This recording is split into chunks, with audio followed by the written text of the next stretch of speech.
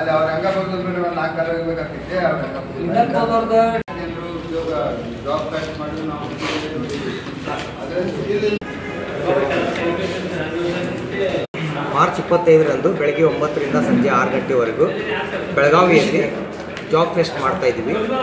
ಬೆಳಗಾವಿ ಜಿಲ್ಲೆಯ ನಿರುದ್ಯೋಗಿಗಳಿಗಾಗಿ ಇದೊಂದು ಸದಾವಕಾಶ ಇದರಲ್ಲಿ ಅರವತ್ತು ಐವತ್ತರಿಂದ ಅರವತ್ತು ಕಂಪ್ನಿಯವರು ಪಾರ್ಟಿಸಿಪೇಟ್ ಮಾಡ್ತಾ ಇದ್ದಾರೆ. ಕಂಪ್ನಿದವರು ಬೆಲ್ಗಾಂ ಹುಬ್ಬಳ್ಳಿ, ಕೊಲ್ಲಾಪುರ್, ಪುನಾ, ಮುಂಬೈ, ಬೆಂಗಳೂರು, ಹೈದರಾಬಾದ್ ಕಡೆಯಿಂದ ಬರ್ತಾ ಇದ್ದಾರೆ.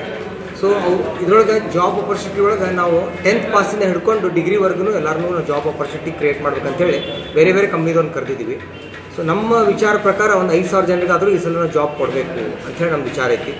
ಅದ್ರೊಳಗೆ ಸ್ಕಿಲ್ಡ್ ಅನ್ಸ್ಕಿಲ್ಡ್ ಎಲ್ಲರಿಗೂ ನಾವು ಜಾಬ್ ಆಪರ್ಚುನಿಟಿ ಸಿಗುವಂಗೆ ಕಂಪ್ನಿಗಳ ಜೊತೆಗೆ ಮಾತಾಡಿ ನಾವು ಇಲ್ಲಿ ಒಪ್ಪಂದ ಮಾಡ್ಕೊಂಡು ಅವ್ರನ್ನ ಕರೆಸಿದ್ದೀವಿ ಬೆಳಗಾವಿಯಿಂದಲೂ ಕೆಲವೊಂದು ಕಂಪ್ನಿಗಳು ಪಾರ್ಟಿಸಿಪೇಟ್ ಮಾಡ್ತಾ ಇದ್ದಾವೆ ಇದನ್ನು ಎಲ್ಲರೂ ಉಪಯೋಗ ತಗೋಬೇಕು ಮತ್ತು ಎಲ್ಲರಿಗೂ ಜಾಬ್ ಸಿಗಬೇಕು ಮತ್ತು ಎಲ್ಲರೂ ಫ್ಯಾಮಿಲಿ ಸುಖವಾಗಿರಬೇಕು ಅನ್ನೋದು ಮೇನ್ ಉದ್ದೇಶ.